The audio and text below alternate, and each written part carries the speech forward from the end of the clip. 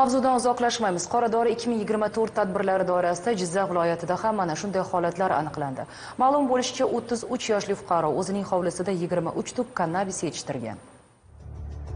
Jizzax viloyati ichki ishlar organlari tezkor xodimlari tomonidan Zomin tumanida o'tkazilgan tadbirda giyohvand modda bilan bog'liq qonunbuzarlikka chek qo'yildi. Tadbir davomida Dashtabod shaharchasi Baxt mahallasida yashovchi 33 yoshli fuqaroning yashash uyi va yordamchi xo'jaligi soha xodimlari tomonidan ko'zdan kechirildi. Jarayonda hovlida 23 tup kannabis parvarishlanayotganligi aniqlandi. Bundan tashqari ushbu fuqaro yana 1 kilogramm 750 gramm og'irlikdagi marixuanani yashirib saqlab kelayotganligi fosh etildi. Ushbu giyohvand moddalari daliliy ashyo tariqasida hujjatlashtirilib olindi. Jizzax viloyati Zomin tumanidagi yana bir tadbirda soha xodimlari tumanning Nurlikin mahallasida istiqomat qiluvchi fuqaroning yashash xonadoni va yordamchi xo'jaligini ko'zdan kechirishdi. Jarayonda hovlining 5 o'n 10 metr o'lchamidagi maydonda 12 tup kannabis o'simligi parvarishlanayotganligi aniqlandi. Tadbir davomida ushbu taqiqlangan o'simlik daliliy ashyo tariqasida hujjatlashtirilib olindi. Keyingi tadbirda Jizzax viloyati ichki ishlar organlarining tezkor